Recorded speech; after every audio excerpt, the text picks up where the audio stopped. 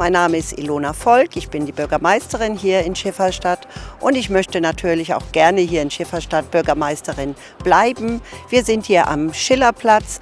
Das war mein erstes Projekt meiner Amtszeit, das positiv zur Belebung beigetragen hat und ich möchte auch in den nächsten acht Jahren gemeinsam mit den Bürgerinnen und Bürgern die Geschicke unserer Stadt lenken und die beginnenden Projekte wie Ochse und auch weitere fortsetzen. Tagblattredakteurin Susanne Kühner im Gespräch mit den Kandidaten. Die Interviews in der Samstagsausgabe im Schifferstatter Tagblatt.